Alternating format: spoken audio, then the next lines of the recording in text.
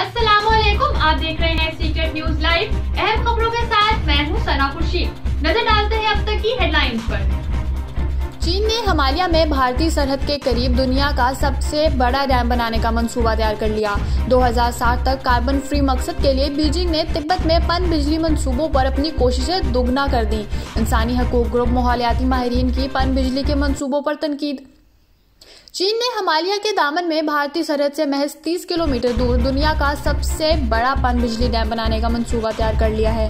गैर मुल्की मीडिया के मुताबिक गुजश्ता बरस नवंबर में चीन के सरकारी मीडिया ने तिब्बत खुद मुख्तार खदे टीएआर में यार्लिंग सांगपुर दरिया पर 60 गीगावाट मेगा डैम तामीर करने का मंसूबा शेयर किया था। 2060 तक कार्बन फ्री के मकसद के लिए बीजिंग ने तिब्बत में पन बिजली मंसूबों पर अपनी कोशिशें दोगुना कर दी हैं। दूसरी जानब इंसानी हकूक के ग्रुप और माहौलियाती माहरीन ने पन बिजली के मनसूबों पर तनकीद की है। तिब्बत इंस्टीट्यूट के शोबा माहौलियात के सरबराह टेम्पा गेल्टसन ने कहा है कि तिब्बती बाशिंदों ने अपनी ज़मीन पर जो कुछ कुदरती माहौल देखा और सुना था, वो सब कुछ खो दिया है। ख्याल रहे कि चीन की कम्युनिस्ट पार्टी सीसीपी ने 1950 में तिब्बत को अलहाक किया था। टेम्पा गिल्सन ने कहा है कि चीनी कब्जे से पहले हमारे पास कोई डैम नहीं थे, इसलिए नहीं कि हम इसको नुकसान पहुँचाने के काबिल नहीं थे, बल्कि इस वजह से कि हमें दरियाओं का बेहद एहतराम है।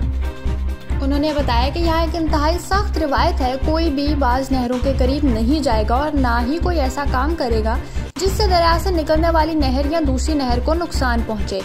यहाँ तक आपको कवानीन की भी ज़रूरत नहीं, क्योंकि हर तिब्बती इसकी पासदारी करता है। उन्होंने कहा कि चीन अपनी तरक्की के लिए कुछ भी करेगा और ये बहुत मायूस कन बात है, क्योंकि इस जमन में तिब्बत के बाशिंदों से मशवरा नहीं किया गया। इस हवाले से उन्होंने कहा कि मौजूदा मेगा डैम साइट भारतीय सरहद से सिर्फ़ 30 किलोमीटर की दूरी पर है और सीसीपी यकीनी तौर पर इसको एक सियासी आले के तौर पर इस्तेमाल करने की कोशिश करेगी। दूसरी जानब, आबी वसाइल को संभालने के इंचार्ज भारत की वजारत के तर्जुमान ने कहा कि वो बरहमा पीतरा में 10 गीगावाट मंसूबे की तामीर के साथ जवाब देंगे।